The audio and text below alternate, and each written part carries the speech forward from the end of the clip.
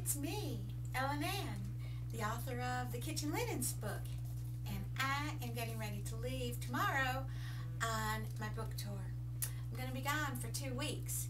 My first stop is Seattle, then San Francisco, Dallas, Coral Gables, Charlotte, North Carolina, Greensboro, North Carolina, and then Denver on May 1st. Packing for such a book tour is always a dilemma for me. I make a presentation out of a vintage piece of luggage and I wanted y'all to see what it's like to put the whole thing together, see the quandary that I'm in. Alright, this is my new presentation case. I think it's a really good size. It's a tad smaller than the one I had before and it'll go really well in the overhead.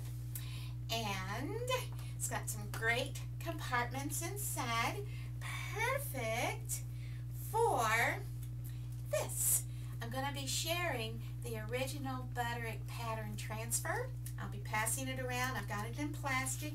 And I'm going to be showing a little child's apron. It's pictured in the Kitchen Linens book that was embroidered by that 1945 transfer, lent to me by Marcia C. of Oklahoma City. Thanks, Marcia. Thanks, Catherine, for introducing me to Marcia, too. I'm going to be showing, oh my gosh, hot pads, a few of my favorites from my collection. Oh, this one too. Oh, this one too.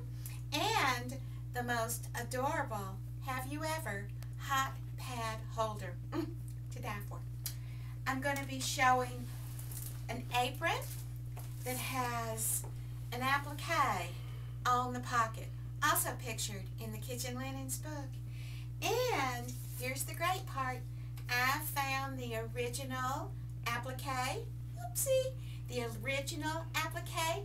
And what do you do when you have applique on the pocket and the original applique? You make note cards. Yes, those are some of the things I'm going to be sharing as to what in the world to do with some of the bits and pieces of your own vintage collection. I'm going to be sharing the original embroidery done by my mother-in-law, Elsa Frank, which is uh, graces the cover of the Kitchen Linens book. And I need to cover the table of my presentation area, and I chose this cloth. There's just something about those colors, the aqua and the depth of the yellow, that I just know, I mean, can you not look at this thing and just smile? Well, that's the whole purpose, I think, of the cheery patterns anyway, of the vintage table coverings. Let's see. I'm going to be showing y'all some just magnificent uh, embroidery of initials. I'm going to be showing a number of examples on damask napkins cocktail napkins, you know, funny little things like that. Oh, oh, oh. And glass jackets, glass jackets. I now have my own. Uh, where, where, where, where? Oh, cupcake jackets. Who would have thought there was such a thing? But some industrious woman. This is what she crocheted. I'm going to be sharing that too. A few surprises here and there.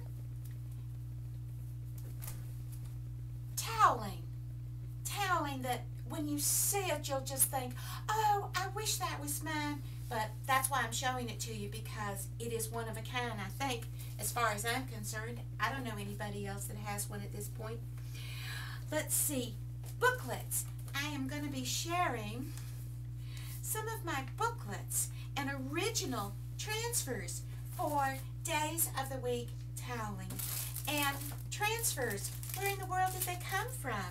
My biggest dilemma, what apron to pack? Should it be this one? Should it be this one? Hmm, I'm leaning towards both. I don't know. Or, or this with the southwestern flavor because I actually found a table covering that matches.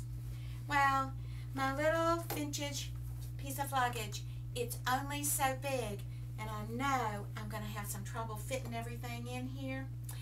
But no matter what, I'm not going to have trouble greeting you with a big old smile.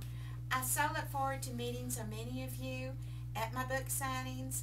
Please go on my website, apronmemories.com, and see where I'm going to be and come to see the Kitchen Linens book and me in person. And together, we are going to celebrate the artistry and industry of women. Bye.